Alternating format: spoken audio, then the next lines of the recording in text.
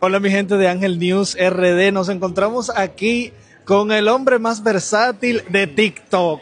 Cara versátil. Tú cocina, canta, baila, actúas. ¿Qué es lo que tú no haces? Cara de cantina, señores. ¿Qué es lo que tú no haces? Yo hago todo porque es que yo digo, si siento que algo se me da bien, yo lo practico y lo hago. O sea, es como de, de una forma genuina que me pasa. ¿Cómo te diste a conocer ese primer momento que tú dijiste, wow? Yo me fui viral haciendo recetas de comida co- en la cocina. Entonces, ese nombre, Care Cantinas, fue un nombre que yo interactué con la gente, la gente le gustó, conectó y me quedé con ese nombre. Más sin embargo, luego de cuatro años haciendo videos para las redes sociales, hace dos años y medio comencé en mi como artista. Y hoy en día estoy nominado como TikToker del año, pero se me dio la oportunidad de cantar el día del evento.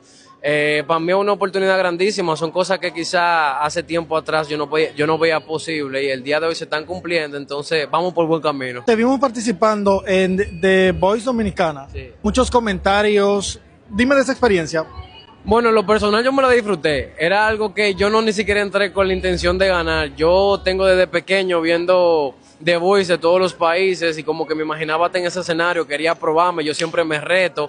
eh, y se me- aunque tenga miedo, tenga nervios, a mí se me olvida todo. Yo digo, ok, vamos a hacerlo, vamos a hacerlo.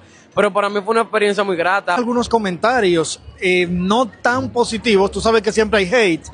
Sobre esos comentarios, ¿cuál fue tu posición en cada momento sobre tu participación en The Voice? Si tú supieras que yo tengo la capacidad de todos los comentarios verlos de una forma constructiva,